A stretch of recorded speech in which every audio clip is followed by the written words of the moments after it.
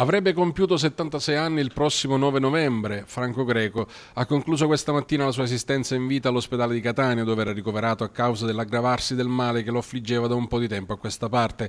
La sua attività principale era quella di penalista, ma il suo impegno in politica lo ha portato a varcare la soglia di Palazzo Madama.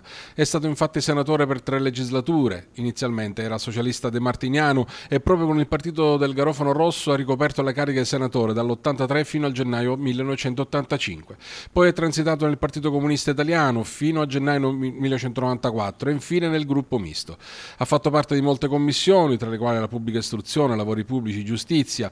Dal gennaio 85 a luglio 87 ha fatto parte anche della commissione bicamerale d'inchiesta sul fenomeno della mafia e fino al 92 di quella sul terrorismo. È stato più volte candidato a sindaco delle città di Siracusa e ha fatto parte della giunta Fatuzzo. La scomparsa di Franco Greco rappresenta una grave perdita per Siracusa, dice il sindaco Francesco Italia, che a nome della Giunta esprime il suo cordoglio alla famiglia. Franco Greco, avvocato senatore, consigliere e assessore comunale, è stata una figura tipica della politica siracusana e le sue battaglie a favore della legalità e delle fasce più deboli della società ne hanno fatto un esempio di uomo e politico virtuoso. L'amministrazione comunale, dice il sindaco, a nome di quella città che lui ha tanto amato, saprà onorarne la memoria.